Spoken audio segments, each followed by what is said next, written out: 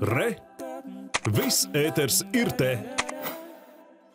29. februāris tā ir papildus diena gadā, ko piedzīvojam reizi četros.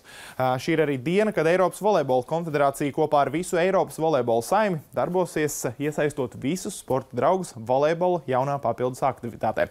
Lai jūs saprastu, par ko es šobrīd runāju, esam sazvanījuši Aināru Dakšu, Latvijas volejbola federācijas ģenerāla sekretāru. Labrīt! Sakiet, kas būs šī aktivitāte, ar kuru centīsieties popularizēt volejbolu šodien? Nu, jāsaka tā, ka 29. datums tā ir īpaša diena četru gadu ciklā, un īpaša diena tā šodien ir visai volejbola saimē Eiropā. Ja? Tātad kopumā pāri pa visu Eiropu vairāk kā 50 tūkstoši dalībnieku vienosies daudzās, daudzās spēlēs. Ja? Tā izskaitā arī Latvija. Ja? Tātad aktīvi piedalās šajā zibakcijā un, un, un kopumā pāri par 1500 dalībniekiem jau ir apliecinājuši savu aktivitāti, nu, vēlmi piedalīties šajā zibakcijā. Tas nozīmē, ka kādus citus sporta veidus skolās vai zālēs grib šodien uzspēlēt, tur noteikti nebūs varianti, jo visur būs tīkli. Ja? Mēs tā ļoti ceram, jā. Vai pasākumu norisei nedaudz netraucēs tas, ka ir pirmdiena? Tā parasti ir tā diena, ka viss tā mēģina tā kārtīgi ieskrieties jaunajai darba nedēļai, bet jūs pēkšņi te, nē, nē, šodien mēs vēl nestrādājam, jāspēlē volejbolu. Nu, tas mērķis jau ir viens, jā, tad nu, uzspēlēt volejbolu. Jā, tad, vai tā ir pirmdiena, vai tā ir piekdiena, man tā grūti spriest, jā, bet jebkurā gadījumā uh, visiem, kuriem ir iespēja, jā, tad aicinām apzināt tuvākās vietas jā, un izmantot šo iespēju un šodien vienoties volejbola spēlē. Jā, tad vietas ir daudz.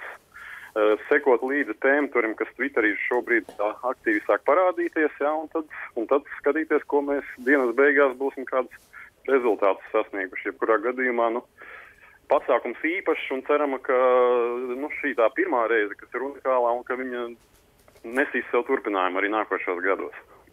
Klau, pēdējo reizi zāles volejbolu es personīgi spēlēju skolā, vēl sporta stundas laikā. Bet eh, tā kā es varētu teikt, es esmu jūsu tuvāk, es esmu ar pludmales volejbolu. Tad kāds, kāds ir tas rīcības plāns, ja es vēlos šodien uzspēlēt?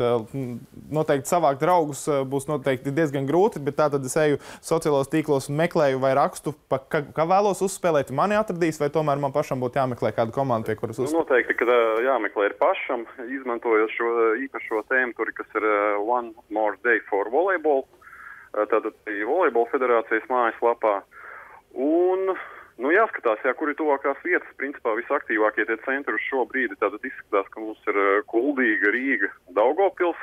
Ir arī daudzas jaunas vietas ir parādījušās, bet, nu, jebkurā gadījumā mēs dienas beigās arī priecāsimies, ja izrādīsies, ka būs atzīmējušās arī kādas citas vietas vai pašvaldības vai skolas, kas šobrīd vēl nav sevi pieteikušas šīs akcijas ietvaros.